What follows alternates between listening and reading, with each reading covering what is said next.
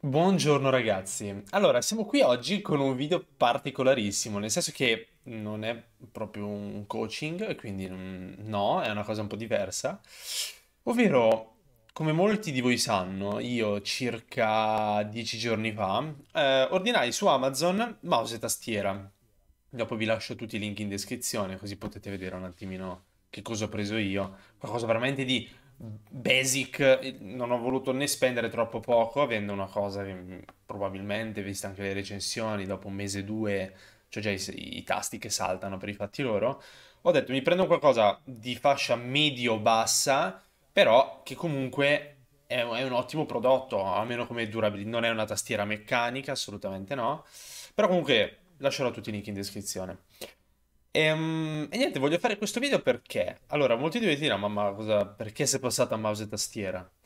Beh, non sono passato a mouse e tastiera, semplicemente dopo, cavolo, eh, allora io ho iniziato a giocare, la mia prima console avevo 5 anni, Nintendo 64, da lì in poi ho sempre usato joystick, joypad. A un certo punto mi sono detto, però diamine, Adesso che sono ormai quanto due anni che siamo a stretto contatto con i PC player, ci sono troppe volte in cui io percepisco che vengo, diciamo, distrutto perché mi sono trovato uno con mouse e tastiera che sia da Play, che sia da PC, è uguale.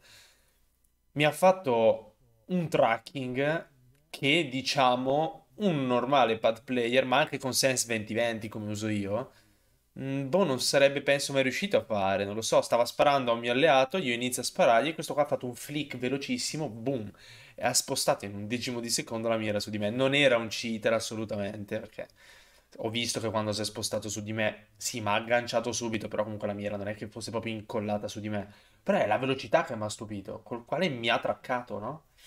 Quindi ho detto, ma siccome poi adesso con i coaching ho molti eh, mouse and key player eh, che potrebbero magari chiedermi qualcosa, no? Io ho detto, ma perché anche per non allargare un po' gli orizzonti non mi metto anche io a giocare con mouse e tastiera?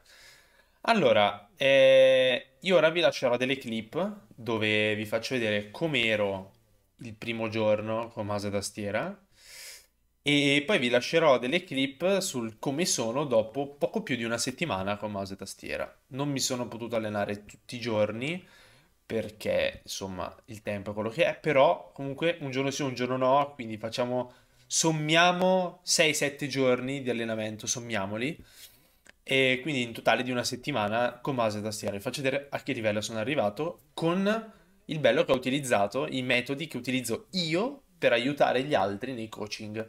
Quindi testiamoli di nuovo, come avevo già fatto tanti anni fa quando ho iniziato a giocare in Claw e quant'altro, testiamoli su di me.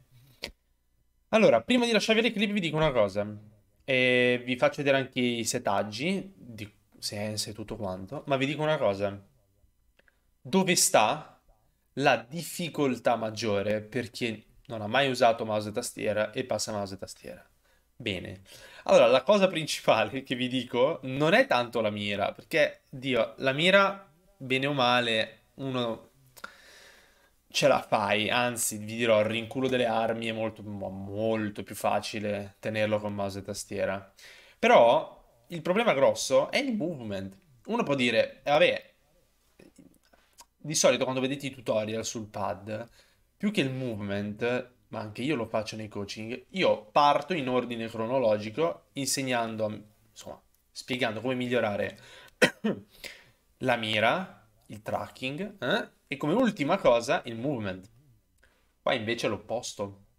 Siccome voi siete e io siamo abituati a muoverci con un analogico, non siamo abituati a usare tra virgolette le frecce avanti, indietro, destra, sinistra, che sono V, A, D e S non siamo abituati. Quindi, eh, attenzione, la parte più difficile, infatti, non sarà la mano destra col mouse, ma sarà la mano sinistra con i pulsanti. Cioè, voi dovrete, un po' come avete presente i vostri genitori, quando tipo devono cercare di cambiare il canale al televisore, dopo 40 anni sono ancora lì che guardano i tasti sul, sul telecomando perché non sanno dove si trovano. Ecco, a noi questa cosa non succede e non dovrebbe succedere neanche qua. Il problema è che all'inizio quando voi iniziate ad usare mouse e tastiera, vi si incartano le mani, cioè non sapete, dovete guardare dove è l'R per ricaricare, dovete guardare dove è la C per abbassarvi. Quindi ci sono un po' di cose che devo dire sono abbastanza complicate e ci vuole tempo per, um, per imparare, per fare tutto. Però, allora, passiamo subito eh, ai consigli che vi do. Allora, punto primo, lasciate perdere gli allenamenti contro i bot, non fateli. Andate in speedball e Speedball è piena di bersagli, che siano mobili, fissi e quant'altro. Allenatevi contro i bersagli, muovetevi e fate dei passaggi con la mira da un bersaglio all'altro. Iniziate ad, abi- ad abituarvi col movement. Qua lo slide cancel si fa premendo con lo scatto tattico automatico come l'ho impostato io, quindi tengo premuta la V e ho lo scatto tattico automatico. Ehm, il, lo slide cancel si fa premendo tre volte C. Io ce l'ho lo slide è, è per abbassarmi sulla C. Quindi eh, tre volte C e hai lo slide cancel. Quindi ehm, questo attualmente è l'impostazione che adesso poi vi farò anche vedere. Quindi il consiglio più grosso davvero è iniziate con movement e poi passate alla mira. Eh, per trovare la sensibilità giusta Ovviamente non c'è mira assistita, quindi già allenarvi contro i bersagli, che sono pezzi di cartone o di legno, allenatevi contro di loro e già lì capite più o meno la sensibilità da adottare e quant'altro. Vi posso dire già che quello che io consiglio, e non si vede qua, sono i DPI del mouse. Io consiglio di tenerli da un minimo di 400 a un massimo di 1000, 800, 1000. Non salite su un FPS Ehm, poi dopo giocate, siccome a differenza del, del pad, che avete una sensibilità di modalità mirino, che poi sono divise in due con gli sniper, però è una, e eh, la sensibilità XY. Ecco, qua avete tre sensibilità. Modalità mirino, XY e i DPI del mouse.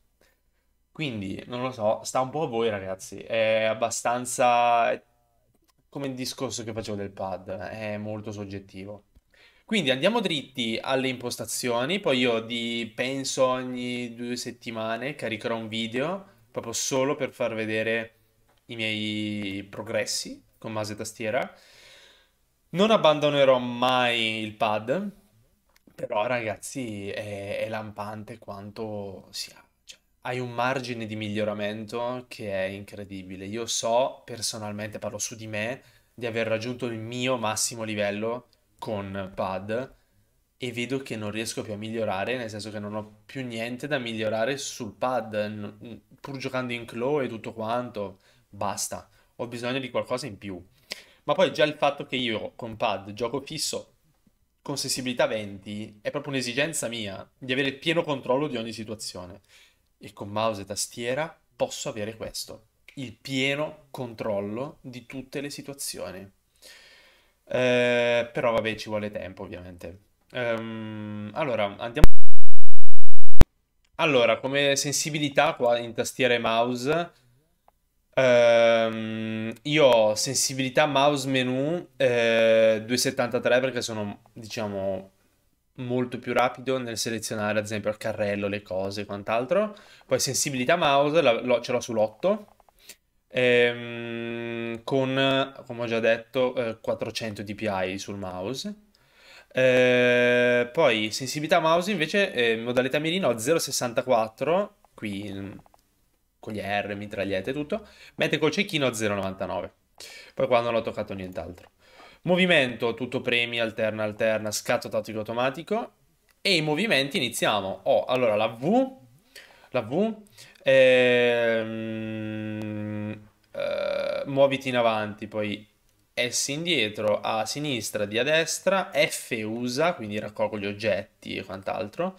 Apro, non so, entro nei mezzi, apro il carrello, prendo il loadout, F. Poi spazio o salta, quindi con lo spazio io salto, poi accovacciati, eh, scivola ho la C, quindi mi alzo e mi abbasso, mentre su CTRL ho eh, sdraiati. Ma che cos'è? Praticamente, molti di voi non so se lo sanno, ma su eh, um, mouse e tastiera, non dovete tenere premuta la C per sdraiarvi come avviene sul pad, no.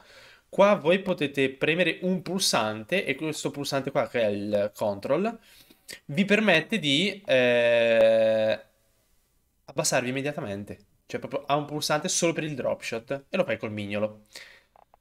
Poi, eh, scatto tattico, però a me non serve perché l'ho già messo scatto tattico automatico. Poi, ehm, qua non abbiamo toccato, penso, nulla. Nulla. Io non ho toccato niente. Ho eh, che sparo con eh, il, il pulsante sinistro della- del mouse, destra, modalità mirino, ricarico con la R. Poi qua io se non erro non ho toccato altro. Ehm, vabbè, con la Q ho il tattico e col pulsante laterale del mouse, quello più vicino a me, ho la granata. E con quello più lontano mi appoggio ai muri. Poi, raga, per il resto è veramente... mh, tipo, con l'1 eh, io eh, chiamo l'UAV o le streak che ho. Con il 4 mi do le corazze. E poi con lo shift trattengo il respiro col cecchino. Altro, raga, eh, cioè, non, non so cosa dirvi, cioè, le cose importanti sono queste. Ah, vabbè, col eh, il um, caps lock eh, o il mostra la mappa. Con la E indico io, molti hanno USA sulla E invece che sulla F. E con la tab, che è quello accanto alla Q del tattico, apro l'inventario e col pulsante sinistro del mouse droppo tipo 100 alla volta, 200 alla volta, mentre con il um, col tasto destro lascio tutto quello che ho. Basta. Queste sono le cose principali. E adesso vi lascio delle clip per farvi vedere un attimino Fury come è passato dal day 1 al day 7. Alla prossima, belli. Ciao ciao ciao ciao ciao.